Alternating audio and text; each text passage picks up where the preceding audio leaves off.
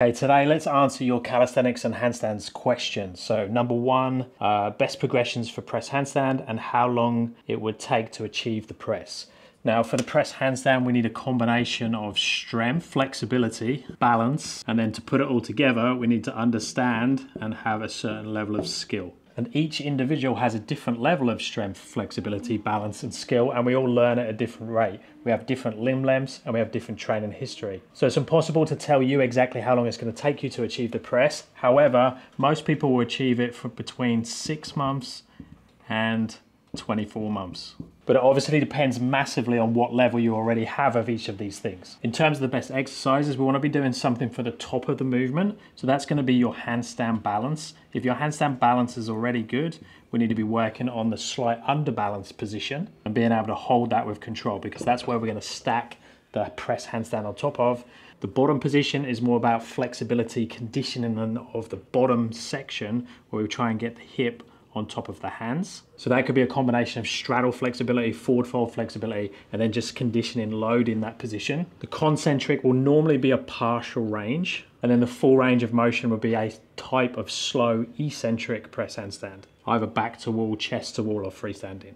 And then it's very important you're doing the right ones for your current level. Add them all together, it equals the press. And then when we're working towards any skill, we want to try and minimize these as much as possible. So ideally, you'd already have the bottom position, you'd already have the top position because your handstand balance is really good, and you would just need these two exercises. So you kick up, hold a really good freestanding handstand. So that's working that top position. You slowly come down, pass through the straddle, articulate the spine down, and finish with tiptoes on the floor. So there's the eccentric and then the partial range. You start on some blocks, go up to your handstand, hold with control. Again, you're practicing that top position. Then you slowly lower that partial range until you can come off the floor. But obviously, if you don't have the bottom, if you don't have the top, if you need to work on the concentric and the full range of motion, you're going to have to have four different exercises and the relevant mobility to equal those. So most people are looking at two to four exercises plus flexibility. But the eccentric is a great assessment to see where your gaps are to identify the movements that you need to work on. Okay, number two, how to get more reps in a handstand push-up. Now that's gonna be dependent on certain things. So we have strength, we have balance, and we have the skill of the movement. Now understanding the skill is a big thing if you already can do a handstand push-up, because if I understand how to use overbalance to help me out of the bottom, it's gonna make it 10 times easier. It's the reason I can do 10 to 15 handstand push-ups in a row, and someone who's just as strong as me can do one handstand push-up. So understanding how to use the overbalance, have very good balance, you can equal way more handstand push-ups. But we also just need to check that you are strong enough as well. So for the strength component, I would be working five repetitions so we need to work out which skill variation or progression towards the handstand push-up. You can constantly do five repetitions times four to five sets. That's going to take care of any strength gap. So that could be chest to handstand push-ups. It could be pike push-ups. Just work out what progression you need to get those repetitions. You don't want to be falling out of those because it's important we get the strength work. Balance can be identified by a slow eccentric and we can work the full range of motion. So I would go to a deficit, ideally freestanding handstand push-up, as slow as possible. That's gonna feel all the balance work. Then the skill is, like I say, understanding how to use the overbalance to get you out. If you're not very good at that, crow to handstand will be your friend. But obviously, again, that depends a lot on what your current level of handstand push-up is, whether it's already a deficit for one or two reps, or if you're struggling to get a full range head to floor at the moment. Okay, next question. Kind of vague, but how can I not get stuck on a handstand? So I'm not quite sure what you're getting stuck with. Now, it could be because you don't, don't know what to work on. So most people need to work on their overbalance and their underbalance, which equals balance window. So that's nice and easy. We just do back to wall, chest to wall drills and make sure that we have, can pull off the wall for repetitions. We can pull off the wall and hold. We can slowly make that balance window bigger and bigger. You need to work on your kick up or jump consistency. So that could be lightly kissing the wall, it could be freestanding into that balance window. And if you're a little bit more advanced, we need to start to work and get very good at tuck and straddle handstands. So if you've got a tuck, straddle, and a straight handstand, you've got good overbalance and underbalance, and you have a kick up that's consistent, then you're in a good place. If you're newer than all of that, then you need to start with the conditioning holds. So that could be on the floor or things like chest to wall holds. Obviously, it's tricky to answer that without a lot more information. Okay, now I'm not 100% sure on this one as well, but when you want to do a pike handstand static hold, so your legs in the air slightly away from the floor, do it require internal shoulder rotation during the hold or external shoulder rotation? So I'm assuming you mean like a pike toe float. So the start of a like a pike press handstand maybe, we just float the toes off slightly. Now I always talk about external rotation when it comes to pushing away and making a strong foundation, but I'm also a fan of not overcomplicating things. So I wouldn't be trying to work out what muscles you're using, what's happening at joints and things like that. The main thing we want to be focusing on is the drill itself, the skill of the movement, and making sure that we're doing the right progressions for us. So to get that float off the floor, we need to have our hip in the correct position, so just on the top of our hands. We need to have a strong push into the floor. So normally that is a bit of external rotation, hands a little bit wider than our normal handstand position, and a slightly rounded upper back position. If you're a little bit tighter, that's gonna be a bit more planchy. And again, the planchy position is always external rotation and just pushing the floor away as hard as you can. Okay, next question, how to train through uh, with injuries, for instance, wrist and golfer's elbow. Thanks, Paul. So normally I would decrease something. We need to take some stuff away. You're giving your body too much stuff's getting stuck. I made a specific video on this. So number one, decrease some volume on everything. Lay out everything you've been doing. Normally pain occurs when we're trying to do too many goals at once. Normally it's bent arm pulling, bent arm pushing, maybe combined with straight arm strength as well. we're trying to do all of those things at a very high level. So I would back off on one or two of those things and maybe only work on one to two skills. For example, if we're doing lots of work like this, so we're doing planches, handstands and things, but we're also doing false grip pulling where we're trying to go into a real tight flex position. That's putting lots of stress on the wrists and the elbows, the forearms, both in flexion and extension. So that would be the first thing to do. Have a look at everything, check you're not doing too much. Back off on some of it if you are. Increase in rest and recovery, and normally increase in mobility. Now, it might be not mobility around this area. If you've got pain here, it could be mobility in the upper back, it could be mobility in the pelvis, in the hips. So, head to toe mobility can normally help as well. But like I said, I've got a specific video on that where I go through a lot more detail. Okay, one arm handstand question. How to stop hips rotating in a one arm handstand only happens on one side and I can't stop it happening. So when we rotate or fall out of position in a one arm handstand, it's normally because the base, the hands, the elbow, the shoulder, and even the head position isn't in the correct position for the one arm handstand and the hips and the legs try and compensate. So they'll either try and reach more sideways. So you instead of seeing this leg come down into the one arm handstand or into that more flag position, it will reach out and that will separate the head and the shoulder and it'll make everything go long or it will rotate. Or the other thing you'll see happen is when you're like this, with your straddle, this top leg will start to close the straddle or bend because it's trying to encourage you to go that way. So a simple way to fix this is just to back off very, very slightly with the progression. So if you're on one finger support, go to two finger support. If you're on two finger support, go to five fingers, something like that. Just back off to an easier progression, get more conditioning time there, and then slowly come away from that position. But number one, check what's happening at the base. So are you does it look like this? Are you in a really good position or does it look more like this? Are you sort of doing a two arm handstand on that side and it's not pushed over enough? The hip, look where the sacrum is relevant to the shoulder, to the hand. All three of those things should be stacked. If you're in a good one arm handstand position, you're probably out somewhere. So your body's compensating. And it can also just be a lack of conditioning. So more repetitions.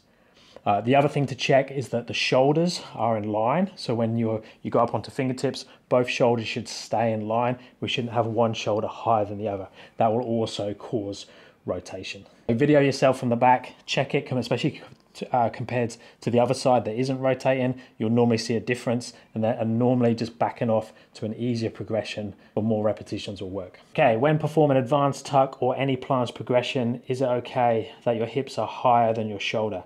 Um, I personally prefer this. My uh, planche positions maybe sometimes go a little bit too high just because I spend too much time in like press handstand variations. But I prefer them to be a little bit higher because if you're doing reps and sets of say 10 second holds, when you get uh, five seconds into it, your hips are going to drop a little bit as you get tired. Now, if your hips and shoulders are perfectly aligned, if these are the hips and this is the shoulders, as soon as you get tired, your hip is now underneath your shoulder and you're dragging it up and you're more likely to lose protraction. So I would set up with your hips very slightly higher than your shoulders and then as the time goes on for your hold, it will slowly decrease the height. You do have to be careful that it's not like a press handstand and the hips are very high. Okay, how close should your pushing foot be to your hands before the kick up?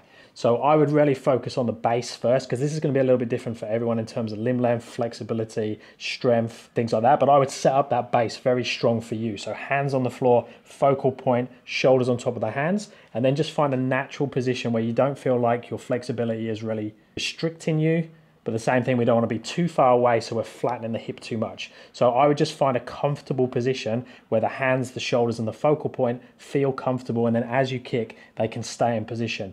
If when you kick, your shoulders are being pushed forwards or backwards, it normally means that back foot in the wrong place. Or another way to test it is just do a few kick ups, either freestanding to the wall, depending on what level you're at, and then just come down comfortably, keeping the shoulders on top of the hands and see where that foot comes to. Like I say, it's going to be different for everyone, but you want to feel a comfortable position that's not too flat and it's not too squished. Okay, next one. So how to get my legs from staying in under balance to be in one line with the rest of the body. My legs are staying in under balance and pulling me out of the handstand. A simple way of controlling the handstand, if our feet are staying behind in more of an under balance position and we keep falling down, what it means is if, we're, if our hands are there, our shoulders are here and our head is there, we're like that, our feet are in this position. So we're over here somewhere. So what it means is we're always going to fall down in that direction because I have this as my center line. I have too much mass, too much energy on this side of the handstand, not enough on that side. But a simple way of controlling that is to do this and have the shoulders slightly planched there like that. Now the head is there and I'm controlling the underbalanced position and you know I like this type of handstand. So now this is equal in that. So this one is going to stay balanced there like that. This one's always going to fall down. And then a simple way of correcting this is to move the feet in slightly, move the shoulder in slightly, and then you have a straighter line. So if they both go in at the same time, but to do that, we need a good connection between the shoulders and the feet. So I would be practicing lots of underbalance control, like the toe pull drill, the chest to wall pulling off the wall into your handstand, like that. And what that's going to do is it's going to strengthen this position so you can actually catch this because it's going to look more like that. And then you can slowly push up to your handstand. So in that direction, so the feet come in, the shoulders come in, and then you get a balanced handstand that's straight. But you also have the option of catching this now because you can take the shoulder forwards. Okay, what do you think about practicing handstand in the sand? Sand makes it feel easier and safer, but I think it's not good for the wrists. Yeah, I've done loads of handstands in the beach. I live very close to the beach, so me and the kids are down there all the time playing. Um, I actually take handstand blocks when I go to the beach and push the handstand block into the floor. That's much more preferable in terms of balance. And you're right, the wrists, it's a bit like practicing on gymnastic floor where they're really spongy. It's really going to push you past the 90 degree position for the wrists. Um, I much prefer a harder surface. So I personally wouldn't do that much practice on the sand. But it does have the benefit if you're scared to kick up to freestanding, it gives you that safety and you can play around with it. But I would do that with play and not with your working set. So I definitely wouldn't do a training session at the beach. And as I wouldn't recommend doing a training session on grass. One way to do it is to take a board or something with you that gives you a good surface, but you also have the sand around you as safety. That's good on grass as well if you can find like a path next to grass, handstand on the path but fall onto the grass. Then you get the best of both worlds. You have the firmer surface for your hands, but you have the safety of the sand or the grass if you fall over. Okay, best progressions for strengthening over and under balance when you have a very small window of balance for handstand, but have good strength when it's sweet spot hold for 10 plus seconds. Okay, to increase that window of balance, we just want to be working the back to wall heel pull drill. So we're pushing through the fingers for our over balance. We're reaching up into the handstand and going back again. First for repetitions and then for repetitions of holds. So you can pull away, hold for two or three seconds, go back to the wall. Pull away, hold for five to 10 seconds, go back to the wall. Make that very consistent until you can get a heel pull to 30 seconds. At the same time, do exactly the same thing with toe pulls. Make sure you can pull with your shoulders away from the wall into your handstand from the under balance. Again, first for repetitions and then go to holds and then eventually holds for like 20, 30 seconds. Once you can hold for 20, 30 seconds, both from the toe pull and from the heel pull, then when you go into a freestanding handstand, you're going to find your window of balance gets bigger and bigger. The cool thing with the wall drills as well, you can slowly move your hands further and further away. So it's like you're increasing the window of balance that you're working and you can choose to try and hold more in overbalance when you're back to wall and then when you're chest to wall you can choose to hold slightly in underbalance so leaning slightly back towards the wall but you're not actually touching the wall and then you're purposely on the edge of your window of balance which is going to make it stronger and stronger and eventually then make it wider and wider. Okay what is the easiest version of the handstand to aim for first? Straight tuck split legs so for most people, it's going to be more like a banana type handstand. So it's going to be kicking up to the wall, finding more of an efficient, comfortable position where you've got enough push to keep it as one piece, but not too much push so it's stopping you breathing and you're like this holding the handstand. It might look like a straight line, but you can't hold there for any time. So a relaxed-ish straight handstand, which is going to be a bit more bananaed, is going to have the feet slightly apart, but that's going to be your best handstand. And then over time, it will slowly straighten and become even more stronger one segment that's efficient and you can breathe and show control in a straight handstand. Okay, how to train shoulders without rotator cuff hurt. Okay, so if we want to train safely and we don't want to get injuries like rotator cuff issues and things like that, we need to make sure that we've got two things. We need to make sure that we've got the strength and the conditioning to do the right levels that we're trying to do. So the progressions or the skills or the exercises, we need to be strong enough for that current level. So we want to be able to do clean repetitions of the skills we're working towards or the drills that we're doing. We also need to make sure that we've got the flexibility and the mobility to get into the position. So if I want to take my hands above my head, but I'm stuck in my upper back and I can't reach my hands up, if I try and rip into the shoulders now and then load, I'm, oh, I'm just not going to make any progress. I'm just going to compensate too much for the rest of the body. So I need to make sure that I'm doing enough upper body mobility, things like hanging, thoracic rolling, stretching my pecs, stretching my lats. Start with easier exercises and then progressively increase the time the intensity, and improve the flexibility and mobility. So look at any of the exercises that you want to do. Make sure that you can do good five to 10 clean repetitions with good technique without pain. And that's going to tell you you're in a really good place. Do that for a bit and then slowly increase the progressions and the intensity. Listen to your body and you should be fine. Okay, I can't get chest to bar pull-ups. Can do 10 normal pull-ups. What is the next step? So the hardest thing from getting your chin over the bar to getting the bar to touch your chest is normally flexibility and lack of conditioning of that range. So you can work on the flexibility, so you can stretch your pecs and your lats to try and open this position up even more. But in terms of training, what I would do is I would do a, your standard pull up, but have a box in front of you. Pull as high as you can, then step on the box, lift yourself up with the assistance of your foot till your chest touches the bar, then see if you can hold, take your foot back off, hold for about five to 10 seconds, and then slowly come down through the eccentric. So then you're doing your standard pull up plus the box assist, reach up to the bar, put your chest on the bar, hold, and then slowly come down again. If that's too hard, keep your toes on the box and hold there for time. So work up to around 30 to 45 seconds per set, holding with your chest on the bar. And after a few weeks, you'll be able to do chest to bar how to progress from tuck planche to advanced tuck, and how to avoid the hips from going higher than the shoulders. Okay, so number one, we need to make sure that you know the progressions from standard tuck to advanced tuck. So the difference between them is massive. So don't think you go from your standard tuck to advanced tuck in one session. I think there's like 20 different increments between them. So just think knees to chest is your tight tuck, knees in line with hips is advanced tuck, and every degree of the hip flexion or extension between them is a next progression. So slowly open up bit by bit. You might need to use band assist to start to feel the position. And I do a mixture of both. I do some without the band and some with the band. So you can start to feel the position with a little bit of assistance and or pyramid your time. So if you're doing a tight tuck and you're holding it for like 12, 15 seconds, then you can start go play with the advanced tuck with like five to six second holds. In terms of trying to keep the hip level with the shoulder, obviously video yourself so you're getting lots of feedback and also work things like planche slides, planche walk-ins, where you're really focusing on that hip and shoulder connection, keeping them nice and level. And also those band assist will help because they can put yourself in advanced position, play around with it a little bit and keep checking that video to see the hip is staying in the shoulder position. So that's all the questions answered. If you're after coaching, check out my app, links are down in the description. I'll do another one of these in a few weeks time. Let me know if you have any video requests down in the comments and I'll speak to you in the next one. Thanks guys.